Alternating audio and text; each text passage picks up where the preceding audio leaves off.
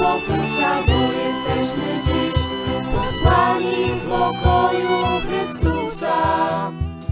Poprowadź mnie, Matko, bym ujrzał Twą twarz i drogę do Syna wskaż.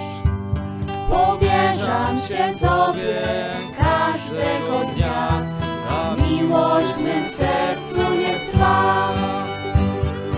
Pani nasza ciągle czuwa, by nas